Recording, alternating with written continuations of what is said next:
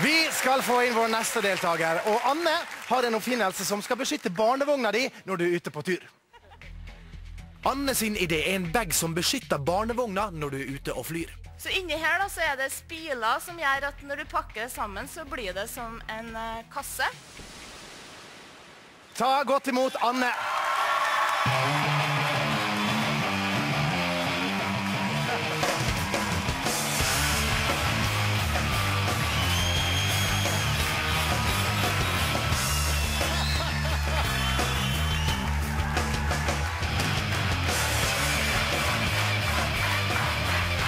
Hei, velkommen. Ja, du kommer sansmessig, ser jeg. Ja da. Og her kommer eh, oppfinnelsen din nå. Ja. Eh, kan, du, kan du vise meg litt hvordan du har pakka inn barnevogna? Ja, det skal jeg gjøre. Ja. Det er jo en barnevogn inni her, og det er ganske enkelt med noe eh, bånd inni her som gjør at du kan justere den sånn at den Ja. tilpasses da. Riktig. alle typer barnevogner. Eh, og i reimen der da, kan du da justere også på sidene Ja. i den innpakningen her. ja, så her ser vi den ligger, ligger inni her, sånn som det her. Ja. Og dette det er for alle størrelser barnevogner. Ja da, det er utgangspunktet for alle størrelser. Har du bagvogn, at den er sånn kjempestor, så har vi en sånn egen lett pose som du har selve bagen i. da. Ja. Men det er understellet som i utgangspunktet blir skada eh, under flytransport. Mm, riktig. Men eh, jeg har jo reist sjøl med barnevogn, og da reiser man med sånne plasttrekk. Hvorfor eh, er det så dårlig? Nei, Det beskytter jo ikke rundt hjula. Her er det jo spiler lagt inn i et eh, visst system, så når du pakker inn den her, så blir den som en kasse. Og Plastposene er i utgangspunktet ment for å beskytte annen bagasje mot eh, eh, vognen. Og da har du jo heller ingenting som regel når du reiser hjem fra utlandet f.eks. Men er dette her noe man skal ha eh, hjemme, eller får man det på flyplassen? Nei, meninga er at den som eier barnevogna, eh, eier prampacken og har den med seg. og Ofte kan det jo være aktuelt å pakke inn vogna før den reiser hjemmefra. Det er viktig at den har den innpakninga her, så den er trygg på at den har den tilgjengelig når den trenger den. Ja, for eh, det, er som du sier, det er viktig å pakke godt inn barnevogna når man er på tur. Og jeg ville jo teste om den reisebagen her faktisk beskytter vogna, så derfor sendte vi ei barnevogn verden rundt med ja, kanskje verdens verste flyselskap.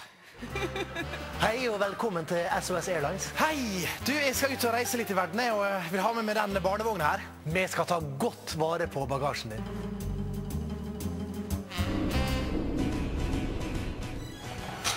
Hva er det som hender? Neimen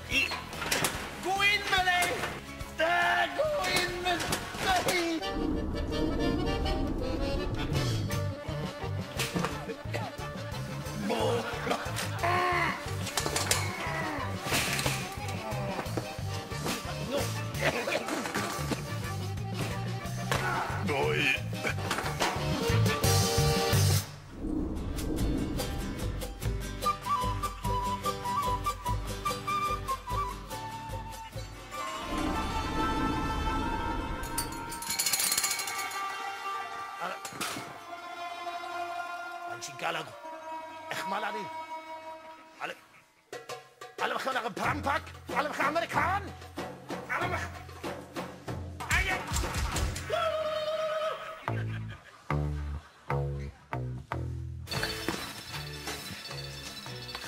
Yes. Akkurat så ny, jo. Ikke verst. Ja, ja. Ja, eh, jeg tror nok eh, kanskje flyselskapet behandler det litt bedre enn det her. Men eh, Katinka, du har et spørsmål til Anne. Ja, Du vil jo at folk skal pakke inn dette hjemme. Men det er jo flyselskapene som virkelig kunne få fart på salget her. Så har du hatt noe kontakt med dem? Ja da, det har jeg hatt. Jeg har samarbeid i utvikling av produktet, både med SAS og Norwegian. Og Norwegian har bidratt veldig i å teste prototyper hele veien. Og de anbefaler jo at det her skal brukes eh, hvis at eh, de videre resultatene er like bra. Eh, Så jeg har tett kontakt med flyselskaper. Men nå, eh, Anne, så skal du gå opp der og overbevise folk eh, hjemme. Lykke til. Ja, takk for det. Vil du at Anne og hennes bag eh, til barnevogn skal gå til finalen i Skaperen, sender du SMS 4 til 26400 eller ringer 829 49 104. Ok, Anne, du har 30 sekunder fra nå. Å reise med barn kan være fantastiske opplevelser om det er til en bestefar i Bergen, eller om det er på en ferietur til Hellas.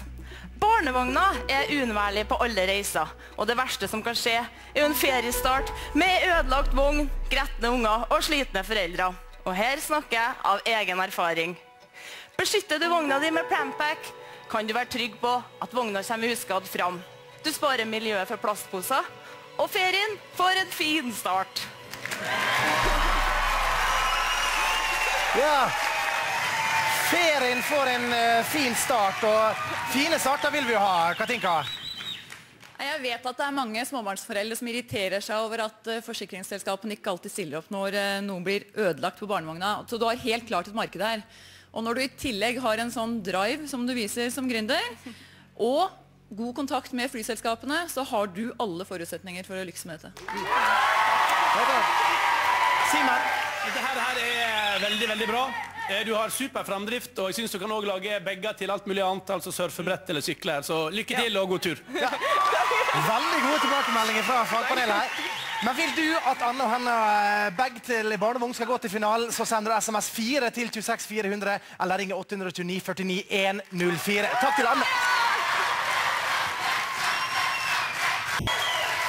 Da har alle de fem deltakerne vært på talerstolen. Og husk at det er du som ser på som bestemmer hvem av de fem som kommer til finalen. Men vi må jo høre med fagpanelet hvem de mener fortjener finalebilletten i kveld. Katinka, du kan begynne. Jeg syns at Annes reisebag for eh, barnevogn er den suverent beste ideen i dag.